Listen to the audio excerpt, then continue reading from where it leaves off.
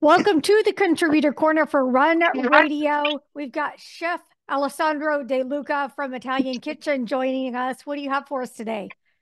Oh, today we are looking at the back. We're looking at what happened and how the Italian American cuisine was born. Okay. And I was impressed because I did some research for this topic.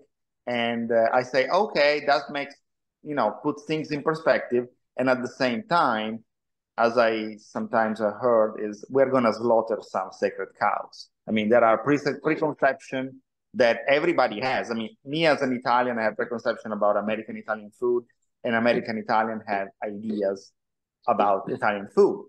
And let's try to clear the air and figure out stuff. So American, uh, Italian Americans started coming between 19 and the 20, at the, at the end of 19th century, the beginning of the 20th century.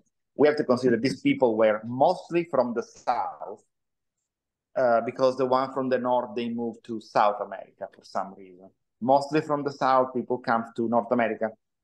And we have to consider these people had no money back home and no food.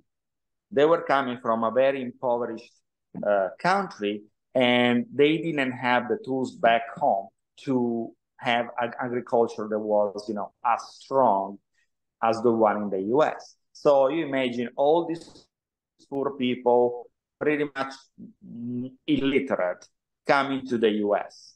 In the US, they found a place that is fantastic because from within not even weeks from then when they land wherever they land, they can find a job. And with the fun, with the job, they have money, and with money, they can finally buy all the food that was missing back home. Mm. Because I mean, in Italy, you, unless you have uh, chickens, you didn't have eggs. You had to buy eggs, and they were expensive. Just like meat, unless you were a butcher, it was or rich, it was difficult to find meat. Here, here, everything was totally different. So they started using the recipe that they brought from home, but they changed them because now they have this cornucopia of ingredients. And so they started adding eggs and meat and butter to everything they could to celebrate this newly founded richness. Okay. And so this was the beginning of the change. They were not anymore following recipes from home. They just adapted to the new richness of ingredients. The other problem was there was literally until 1960, there was no book talking about Italian recipes. And so everything was just like uh, passed orally from mother to daughter, from grandmother to uh, daughters, and go on. Finally, in the 60s, we have this kind of weird situation in which the Italian American are a lot, and we go through that phase in which nobody of the immigrants wanted to be perceived as immigrants. So you have all this section still now, generations of immigrants, and not just Italian, who don't speak the language of their grandparents and don't know anything about the grandparents' culture because for you know 50 years you needed to be Americans. I mean, the idea of the melting pot went up to a, an extreme to the point in which your own culture, where it was not a melting pot of culture, it was just this is the culture you drink from the melting pot. Your culture doesn't exist anymore.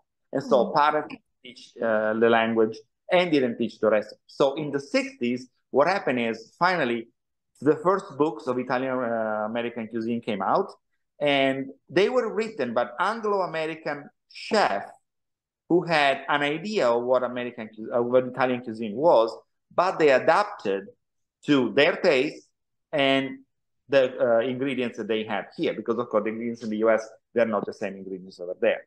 And so the next level was you have now in the 80s or late 70s in the uh, late 70s and 80s all these people who are oh i'm italian because my grandma was italian because you know and now i don't know what to cook so what they did they went to the only books that were available that were written by someone who was never been italian never been in italy and had just like adjust the recipes or pretty much invented recipes and that's what they did. They learned that recipes that were created by someone who was never Italian were actually the base for Italian cuisine. And so that's where Cioppino came out. That's where uh, um, the Cioppino came out, the Alfredo came out, all those crazy mix with chicken and uh, pasta that we will never eat. The, all that stuff came out like that. So instead of learning from immigrants, the generation before uh, mine had to learn on books written by someone who never who have never an idea what Italian food look like, tastes like, and has to be made. Oh, that's very interesting. So if someone comes to you and asks for Alfredo, what do you do? I mean, it's a staple of American cuisine, American Italian cuisine. So I make it. I make it as close as possible to the original yeah. version. Very good. All right. Thanks for sharing authentic Italian food at Italian Kitchen. Check out their information and more at runradio.net. Thanks, Alex. You're welcome. Thank you.